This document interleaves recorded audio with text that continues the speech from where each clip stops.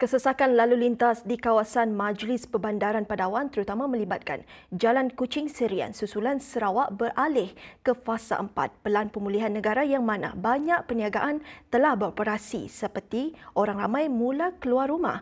Bagaimanapun menurut pengurusi Majlis Perbandaran Padawan Lo Kee Chiang, kesesakan tersebut dijangka berkurangan apabila kerja-kerja pembinaan jejambat Batu Tujuh selesai bulan April kelak. Tambah Lo yang juga ahli Dewan Undangan Negeri Adun Batu Kitang, pihaknya telah berbincang dengan Lebuh Raya Pen Borneo Utara, Jabatan Kerja Raya dan kontraktor untuk mencari cara bagi mengurangkan masalah kesesakan lalu lintas ini buat sementara waktu. Ini kerana beliau menerima banyak aduan daripada pengguna jalan raya berhubung isu berkenaan menerusi media sosial. We are also controlling the signals from uh, Hajibaki to Sentosa, Sentosa to Hajibaki as well. Because this is a four-way junction.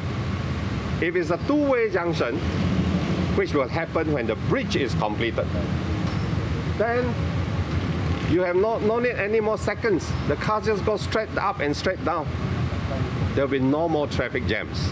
Sementara itu, Adun Kota Sentosa, Wilfred Yap berharap orang awam bersabar dengan keadaan lalu lintas di kawasan Jalan Batu Tujuh. So bear with us.